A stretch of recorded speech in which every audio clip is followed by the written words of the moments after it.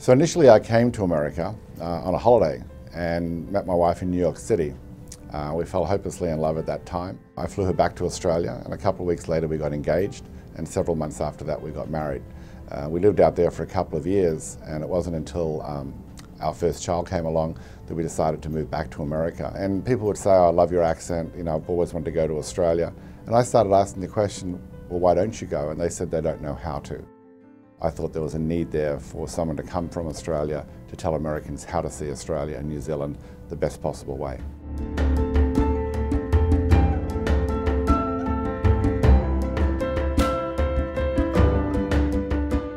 Not long after we started creating itineraries for Australia and New Zealand, we found out very quickly that our clients were loyal to us. They came to Australia and did Australia with us. They went to New Zealand and they went to the islands of the South Pacific.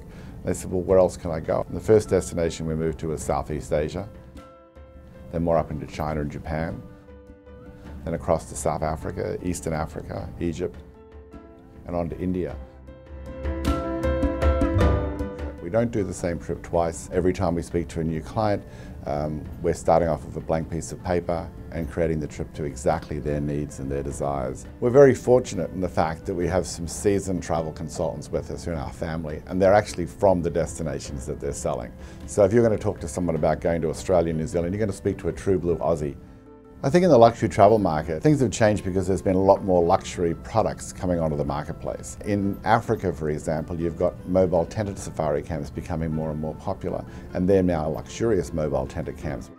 I call it rustic luxury, when you might be out there during the day doing something quite adventuresome. But then in the evening, you want to come back to a nice lodge, a nice cocktail, a nice dinner, and a beautiful bed to sleep in.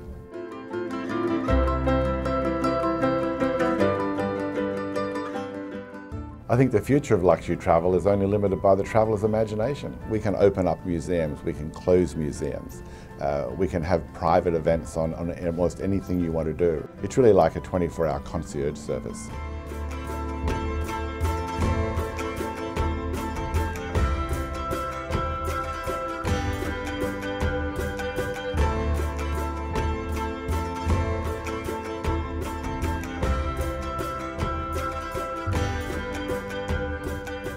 Everyone has a dream of where they want to go, what they want to do, when they want to do it.